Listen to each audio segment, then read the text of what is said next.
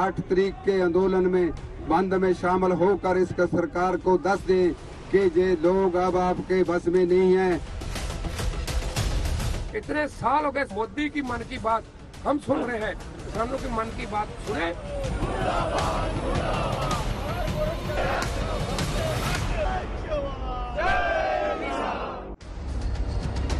ताज़ा स्थिति ये है कि दिल्ली के इन बॉर्डर्स की तरह सरकार और किसानों के बीच आपसी सुलह के सारे रास्ते भी बंद हो चुके हैं। और अब किसानों को सिर्फ़ एक ही रास्ता नज़र आ रहा है जो भारत बंद की तरफ़ जाता है।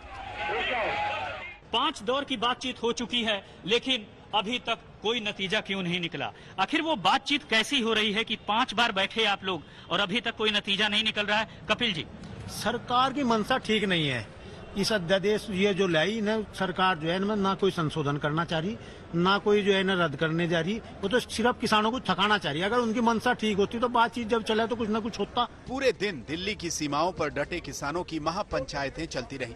भारत बंद को सफल बनाने के लिए किसान नेताओं के बीच मंत्रणाएँ चलती रही। हर तरफ़ से एक ही आवाज़ उठी। एक तरफ़ किसान है और बैरिकेड के दूसरी तरफ़ जवान है।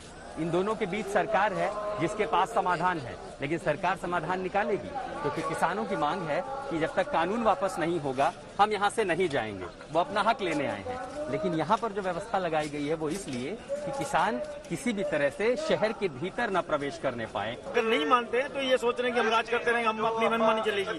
तो ये तो ना मुगल रहे, ना कोई राक्षस रहे जैसे तो ये भी नहीं रहेगा। सिंघू बॉर्डर पर एक तरफ़ आरएएफ के जवानों को फ्रंट लाइन पर तैनात किया गया है तो दूसरी ओर किसानों की तरफ़ से फ्रंट लाइन पर निहंग सरदार तैनात है। भारत बंद के दौरान किसानों को कंट्रोल करने के लिए आंदोलन का केंद्र बन चुके सिंघू बॉर्डर पर दिल्ली पुलिस और अर्ध सैनिक बलों के जवान भी रिहर्सल कर रहे हैं।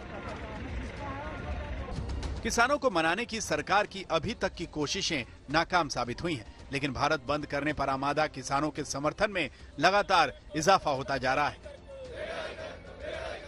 बॉक्सिंग रिंग के चैंपियन विजेंद्र सिंह किसान आंदोलन के रिंग में उतरे और किसानों के समर्थन में राजीव गांधी खेल रत्न अवार्ड लौटाने की चेतावनी दे डाली। खिलाड़ी होने के नाते जैसे हमारे कोच साहब गुरबख्श सिंह संधू जी ने मैंने कटिंग देखी कि उन्होंने द्रोणाचार्य वापस करने की सरकार को अपनी मांग रखी है। तो भैया, मैंने स्पोर्ट्स में सबसे बड़ा अवार्ड राजीव गांधी खेल अवार्ड जीता है। और भैया तो अगर सरकार ये कानून वापस नहीं लेती तो मैं सरकार को अपना जो सबसे बड़ा स्पोर्ट्स का सम्मान है, मैं वापस करने की गुजारिश करता हूँ।